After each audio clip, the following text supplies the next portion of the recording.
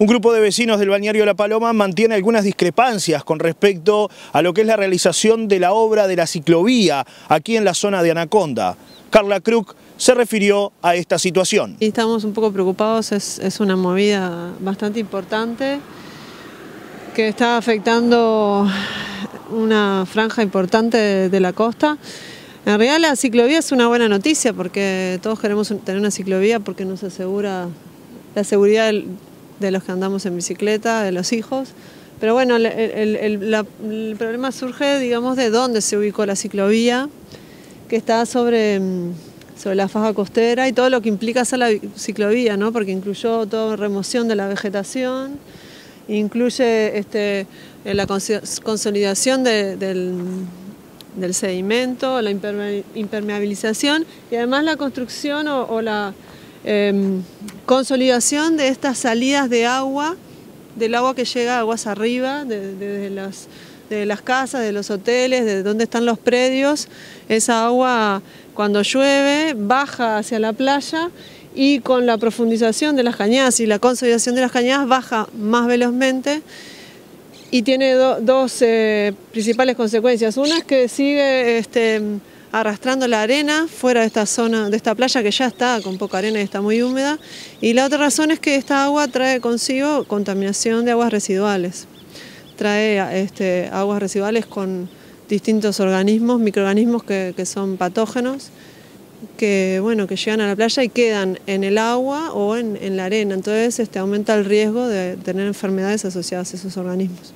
El reclamo principal es que la obra no se siga realizando donde se está realizando, sino en la vereda de enfrente. Ahí está, sí, eh, o sea, no, eh, queremos la ciclovía, digamos, somos varios grupos, o son varios grupos de vecinos y varios grupos de, que venimos trabajando también, investigando en el área.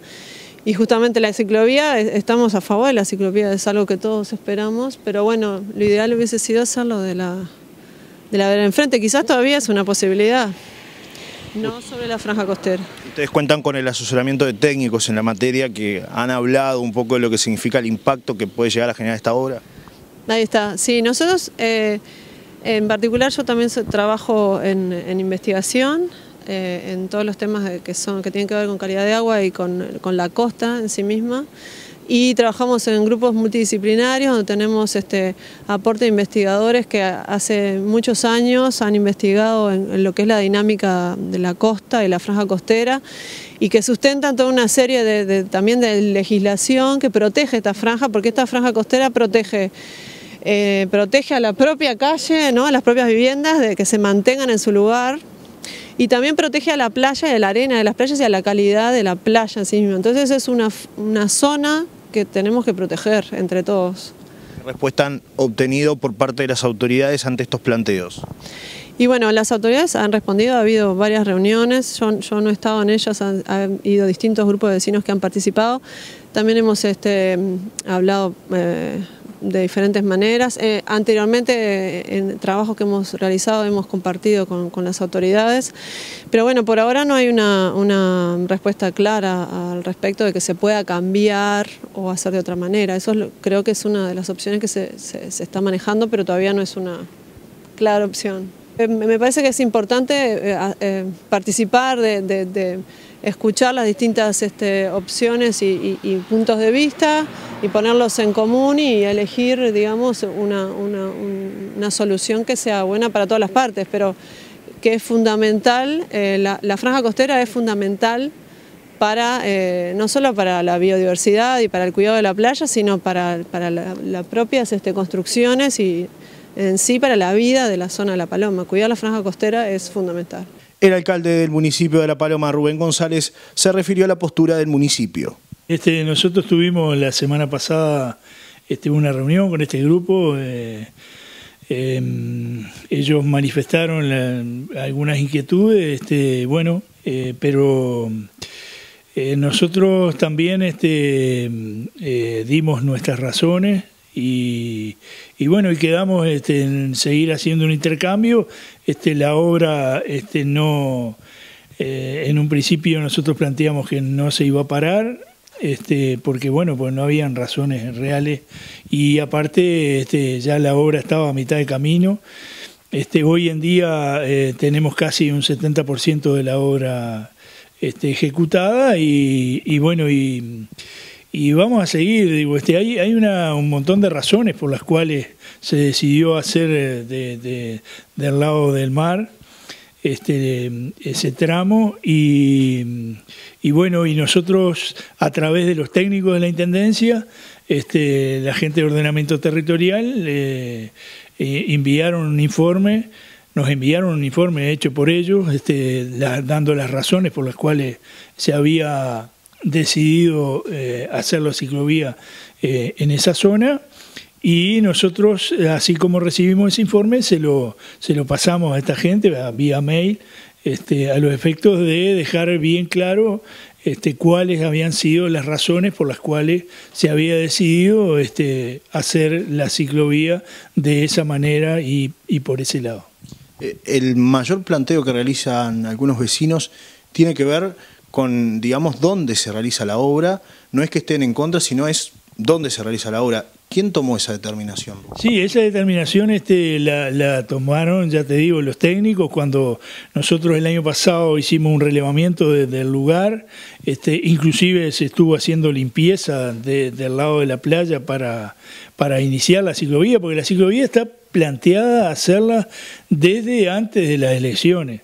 Sea, la lista 9, que fue la que ganó las elecciones pasadas, este, una, de una de las cosas que tenía en la plataforma era la ciclovía. Después, eh, cuando se, em, empezamos el periodo, en el 2016, este, eso que quedó planteado, el que se iba a hacer la ciclovía, y en el 2017 empezamos a trabajar en el tema, o sea, no empezamos nosotros, empezaron los técnicos de la Intendencia a, buscar las formas y, de qué manera iba a ser. Este, ahí se hizo el año pasado, eh, hicimos una llamamos un agrimensor que marcó la línea eh, de los terrenos particulares que están sobre la playa y ahí este, nos quedaron unos, eh, en algunos lugares 8 metros, en algunos lugares 9 metros, otros 6 y bueno, y este y los técnicos decidieron hacerlo de ese lado porque, porque entendieron que era el lado donde, donde menos se iba a afectar la visual este, y eh, dejando y, y teniendo en cuenta eh, los estacionamientos para la gente que va a la playa, porque si bien este, nosotros eh, pensamos de que mucha gente eh, va a la playa caminando, la gran mayoría va en vehículo, algunos hasta hacen tres cuadras en auto para ir a la playa. Y eso son cosas que, que no la vamos a cambiar de un, de un día para otro. Este, por ahí se ha planteado que bueno que habría que hacer un, una una campaña de educación para que la gente vaya en bicicleta a la playa, es cierto, sí, este, pero este, eso va a llevar tiempo. Tuvimos problemas este, con los estacionamientos de vehículos este año y, bueno, y lo que se trata ahora justamente es de establecer la ciclovía del lado, del lado sur y del lado eh, noroeste hacer estacionamientos para los vehículos. Este, otra de las cosas que, yo quiero eh, también eh, hacer hincapié es que por el lado que esta gente quiere hacer la ciclovía, tenemos 35 este, entradas de vehículos más 5 bocacalles. O sea, una ciclovía pensada de ese lado este, no es nada práctica, al contrario, este, nos iba a traer muchísimos problemas a la gente que la utilice. Por eso es que decidimos hacer los estacionamientos del otro lado y la ciclovía del lado de la playa. ¿Esta obra se realiza con recursos municipales? Esta obra se, se realiza con eh, recursos eh, municipales y nacionales porque está eh, en el Fondo de Incentivo a los Municipios. Simplemente este, que, bueno, que, vamos a tratar de hacer lo mejor posible. La ciclovía va a quedar, va a ser un paseo eh, nuevo que vamos a tener en la parte de, Anaconda, que, que, sabemos que Botavara está, eh, es, un, es una calle un poco angosta que no, no deja espacio para el peatón y para el ciclista. Y bueno, lo que estamos buscando con esto es justamente dar esa comodidad a la gente que usa las playas del sur.